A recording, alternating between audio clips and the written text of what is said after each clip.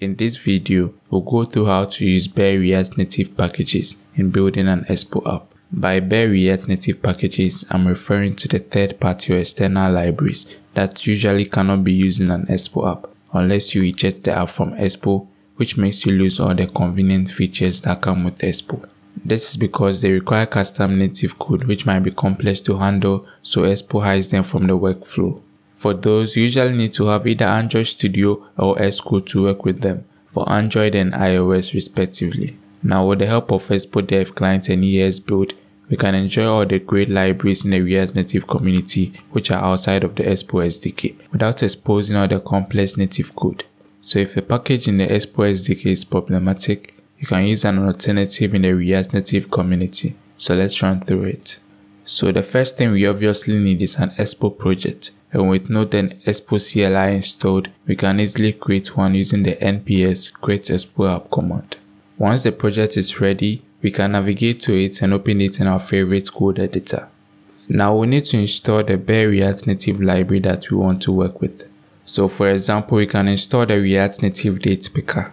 We copy the name of the package and install it using Expo. So over here in the project directory, make use of the Expo install command.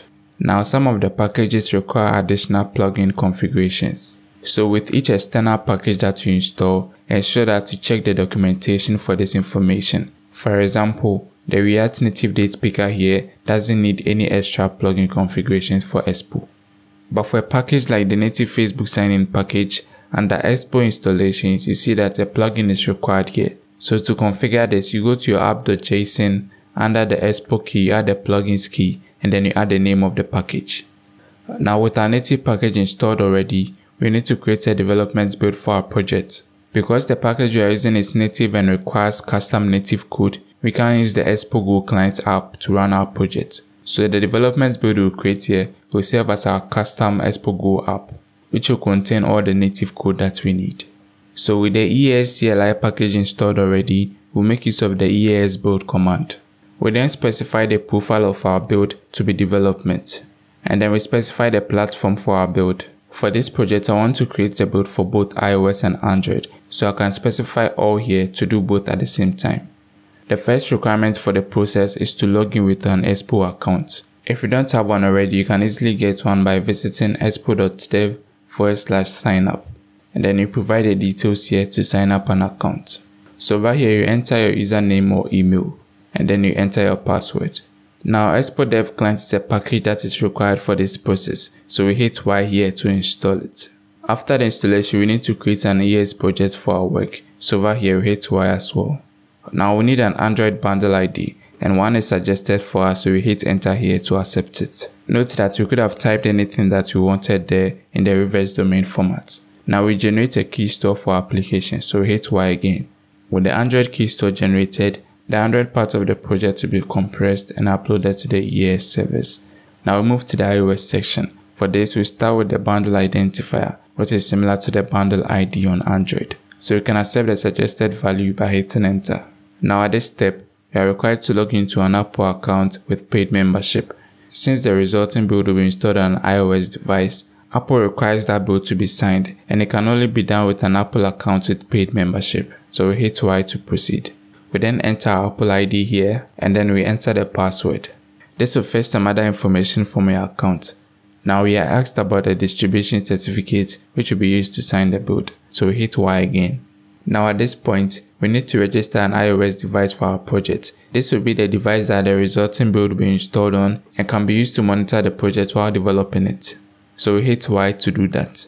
Now the easiest way to do this will be the website option. This will give us a QR code that we can scan on the device to register it. So on my iOS device, I'll look for the camera app and then I'll point the camera at the QR code. This will open a page in the browser and can go ahead to download the profile. And I'll allow the download to continue. Now it says the profile has been downloaded. So now we'll visit the settings. Over here at the very top, you see profile downloaded. So I'll press on that and then I'll go ahead to install the profile. Over here, you are required to enter your passcode. With that done, you can proceed with the installation. Once the installation is complete, it will lead us back to the web page which says that our device is ready to run internal distribution builds. Now for this step, you can register as many devices that you want to register. If some other devices are not available now, you can register them later with the EAS device create command. Just that those devices will not be able to run this particular build, but will be able to run other builds that were created right after registering that device. With the device registered, you can hit any key on the keyboard to continue. Now the device that we just registered has been fetched here and we can hit enter to continue.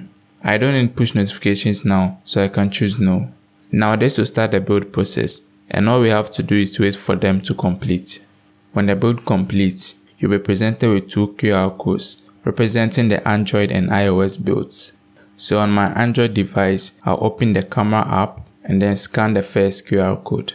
This should open up a page in the browser and I can install my build from here. So this will download the APK for the build and I can install it when it's done. While it's downloading, let's do the same for the iOS. So for the iOS, we make use of the second link. So for this one as well, I'll open my camera app and point it to the QR code. I'll then proceed to install the app and back in my app menu, I'll see that this will start installing.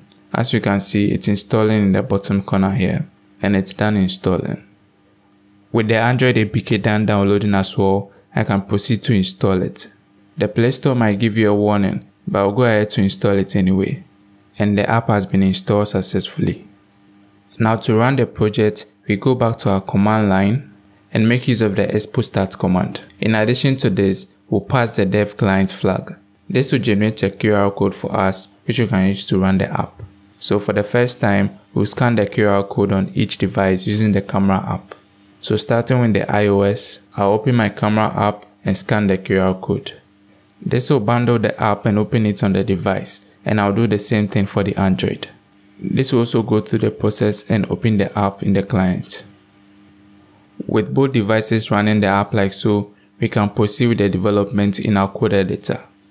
So over here, we can make use of our React Native package with no problems. So for instance, I'll copy the import statement here and add it to my app.js. And then I can copy the other content and use it here. So over here, I'll copy the state and the date picker. I can cut the date picker from here and put it below the text here. And the date picker is displayed with no problems and it's equally responsive on both devices. So for this whole process of using the external libraries in the Expo app, the trick is to install the package and create the development build for it. If you haven't installed another package that requires native code, you don't need to create a build for it again, so you can continue developing with the same build that you created. So at the start of creating a build, you can ensure that you install most of the packages that you need, so that you don't have to be constantly creating new builds. So we've considered how to create the development builds in this video. For the production builds for iOS and Android as well, we considered that in the video on your screen now. Thanks for watching and also special thanks to my patrons for supporting the channel.